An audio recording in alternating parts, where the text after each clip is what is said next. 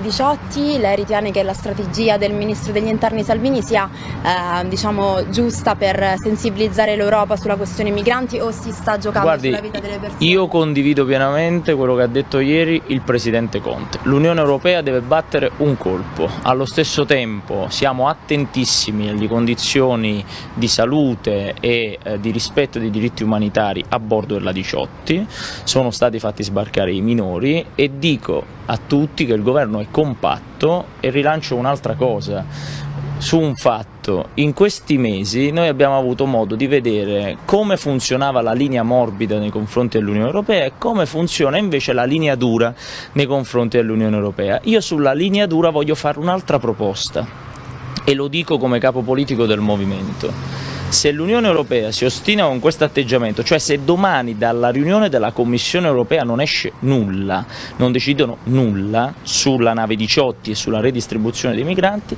allora io e tutto il Movimento 5 Stelle non saremo disposti a dare più 20 miliardi di euro all'Unione Europea ogni anno. Ce ne prendiamo una parte e non siamo disposti, se non ci aiutano, a votare una legge di bilancio che preveda ancora il finanziamento di 20 miliardi all'Unione Europea.